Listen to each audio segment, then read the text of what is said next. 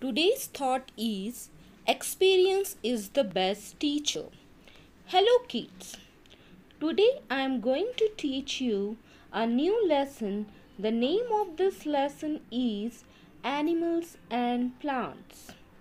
In this lesson we will see the difference between plants and animals. The first characteristic difference is movement the ability of animal to move from one place to another in search of food, water and shelter is called locomotion. It is absent in plants. Then how the plants show movement? With the help of their parts.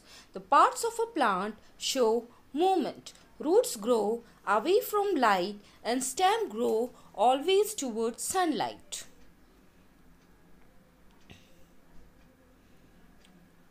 Not only these, in some plant, the leaves of a plant also show movement. For example, touch me not plant leaves close when they get touched.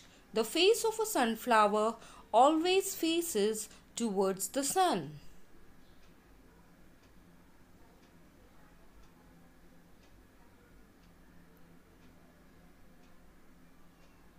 Thank you children.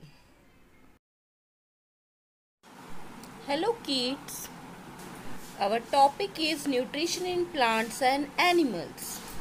Plants prepare food with the help of carbon dioxide, water and sunlight. Animal depends on plants for food and shelter. Herbivorous animals like rabbit, goat, deer eat plants. Carnivores like lion, tiger eat flesh. Omnivorous animals, bear and crow eat plants and animals. Scavengers like vulture, hyenas, eat the flesh of dead and decaying animal. Let us summarize the topic nutrition in plants and animals. Plants prepare food with the help of carbon dioxide, water and sunlight. Animals depend on plants for food and shelter. Herbivores eat plant and its parts. Carnivores eat the flesh of other animals.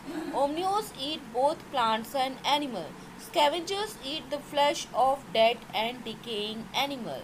Thank you.